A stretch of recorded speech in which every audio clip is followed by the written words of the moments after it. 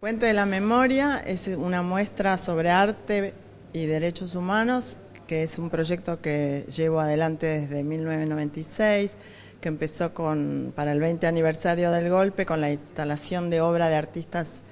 en Avenida de Mayo, que acompañaron la primer marcha después de la democracia que tuvo 100.000 personas. Tiene que ver con eh, indagar acerca de las secuelas que dejó la dictadura en el cuerpo social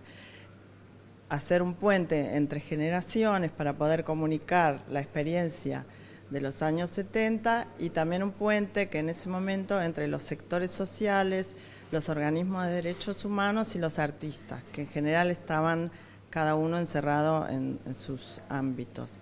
A lo largo de todos estos años, este proyecto se convirtió en la base de mi trabajo artístico, con diferentes acciones en distintos lugares. Las fotos del archivo, que son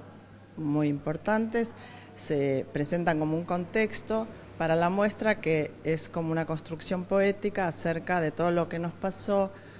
eh, antes y después de la dictadura. Eh, mi construcción en, en esta muestra tiene que ver con el río, con el mar, con el río intervenido, un video que lo presenté en 2006 en La Recoleta, eh, donde arranca desde el Cordobazo con material de archivo y después rescata testimonios de víctimas del terrorismo de Estado.